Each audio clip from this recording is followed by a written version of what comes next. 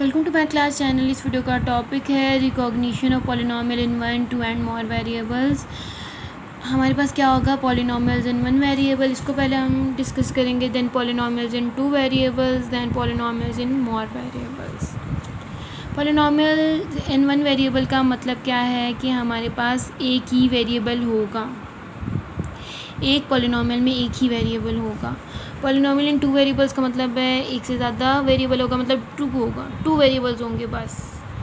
मोर variables मतलब दो से ज़्यादा हो सकते हैं, ठीक है? तीन हो सकते हैं, और भी हो सकते हैं। अच्छा अब पोलिनोमियल्स इन वन वेरिएबल क्या है? ये हमने खुद ही से ले लिए कंसीडर कर लिए पोलिनोमियल्स इसके अलावा भी बहुत सारे पोलिनोमियल्स होते हैं तो इसमें हमारे पास ये एक पोलिनोमियल है कि एक ये, कि फोर पोलिनोमियल्स हैं तो polynomial one and polynomial two में जो है एक्स हमारे पास वेरिएबल है। ऐसा ही है। और पोलिनोमियल थ्री और जो पोलिनोमियल फोर है, उसमें हमारे पास वाई वेरिएबल्स हैं।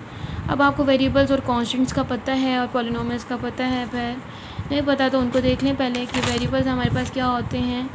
सबसे पहले तो अल्जब्रिक एक्सप्रेशन क्या होते हैं? अल्जब्रिक एक्सप्रेशन जो होते हैं जिसमें वेरिएबल्स और कॉन्स्टेंट्स दोनों कनेक्ट हुए होते हैं by algebraic operation addition subtraction multiplication and divide ये कल जबरी का एक्सप्रेशन है कि एक ये एक ये। तो इनमें हमारे पास ये टर्म्स होती हैं। टू टर्म्स हैं इन दोनों में।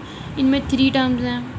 और फिर ये होता है कि वेरिएबल्स और कांस्टेंट्स होते हैं तो कांस्टेंट फिक्स्ड वैल्यू को कहते हैं। जैसे इस के एक्सप्रेशन में सेवन कांस्टेंट है हमारे पास। इस के एक्सप्रेशन में वेरिएबल की बात करें तो एक्स वाई एंड जी तीन वेरिएबल्स हैं। वेरिएबल की वैल्यू चेंज होती रहती है और इसमें कोई कॉन्स्टेंट नहीं है हमारे पास, ऐसा ही क्योंकि थ्री जो है वो तो जी के साथ है वेरिएबल के साथ अकेला तो कुछ नहीं है जैसे यहाँ पर था। और अलजब्रिक एक्सप्रेशंस ही पोलिनोमियल्स होती हैं, लेकिन ऐसी अल्जब्रिक एक्सप्रेशन पोलिनोमियल्स होती हैं जिसमें हमारे पास जो वेरिएबल की पावर है, वो जो है, या ज़ीरो हो या पॉजिटिव हो। नेगेटिव आ गई तो वो पॉलिनोमियल नहीं होगा। ऐसे अल्जब्रिक एक्सप्रेशन जिसमें हमारे पास वेरिएबल की पावर नेगेटिव आ जाती है तो वो फिर पॉलिनोमियल नहीं होते। अगर अल्जब्रिक एक्सप्रेशन की पावर पॉजिटिव हो तो वो सारे हमारे पास पॉलिनोमियल्स होते हैं। जैसे वाई की पावर यहाँ पर कुछ नहीं है तो वन है पॉजिटिव वन है पॉजिटिव वन है।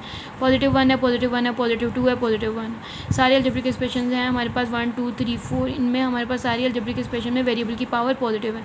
जैसे ही वेरिएबल की पावर नेगेटिव आ गई वाई को सॉल्व करेंगे तो नेगेटिव वाई आ जाएगा नेगेटिव माइनस वन आ जाएगा माइनस वन आ जाएगा। वाई माइनस वन पावर और यहाँ पर नेगेटिव थ्री है नेगेटिव फोर है, यहाँ पर भी सॉल्व करेंगे तो नेगेटिव वन आ जाएगा। तो ये सारे अल्जब्रिक एक्सप्रेशन पोलिनोमियल्स नहीं हैं। समझ आया?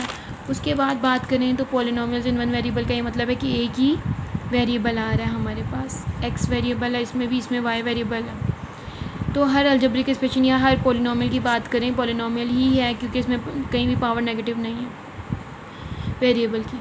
वेरिएबल एक ही है, इसमें भी एक्स ही वेरिएबल है, इसमें वाई वेरिएबल है, इसमें भी वाई है। टू वेरिएबल्स का मतलब है टू वेरिएबल्स आ जाएँगे हमारे पास। तो एक्स एंड वाई इस पोलिनोमियल में भी x and y two polynomials हैं, इसमें एक्स एंड जी है, इसमें एक्स जी है। पोलिनोमियल इन मोर वेरिएबल्स ये है कि x y z three variables आ रहे हैं, इससे भी ज़्यादा हो सकते हैं, ठीक है? तो टू का मतलब पता चल रहा है टू वेरिएबल्स वन का एक वेरिएबल ही आएगा और मोर वेरिएबल एक से ज़्यादा, ठीक है? दो एक से ज़्यादा का मतलब है कि हमारे पास x y z more than two. ये थ्री वेरिएबल्स आ रहे हैं। होप से समझ आ गई होगी। वीडियो अच्छी लगे तो वीडियो को लाइक करें, चैनल को सब्सक्राइब करें। Thanks for watching this video take care